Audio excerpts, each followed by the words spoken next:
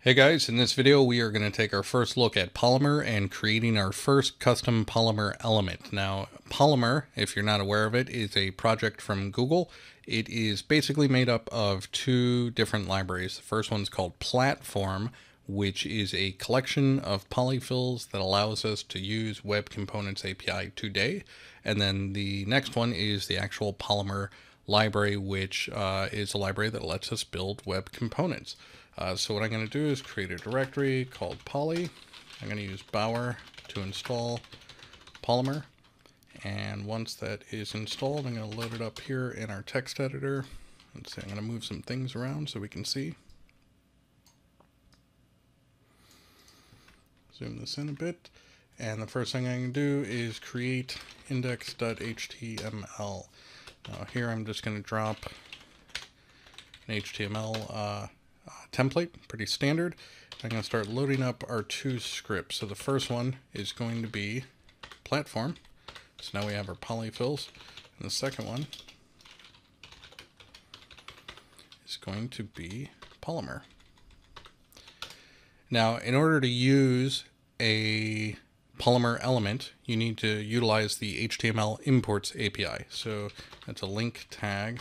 The rel on that is import, and the ref or the href on that is uh, the location of your component. So in my case, I'm going to do component slash hello dash world dot HTML.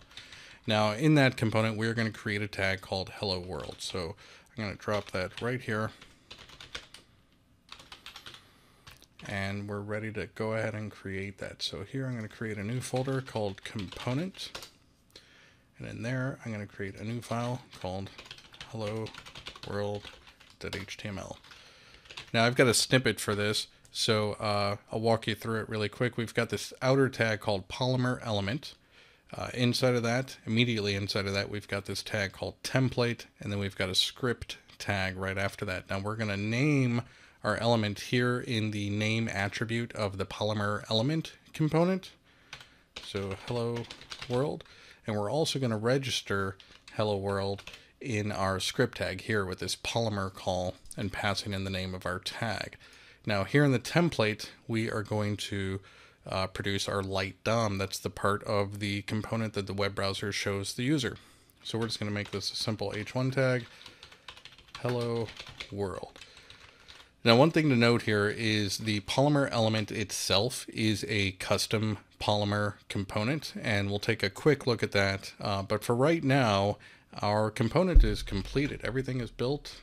It's imported onto the page. We're utilizing it right there. So let's go ahead and load this up in an HTTP server and load that up in our browser. So there is our component. Awesome.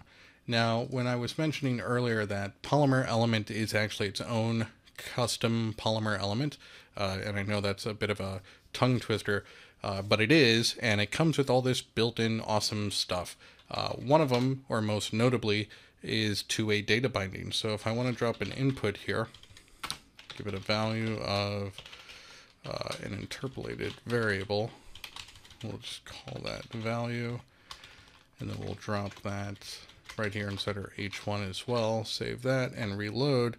Now we've got this input component here, or an input element, and anything I type there shows up in the other one. So that's very similar to any other sort of two-way data binding demonstration you may have seen before, for example, Angular or any others.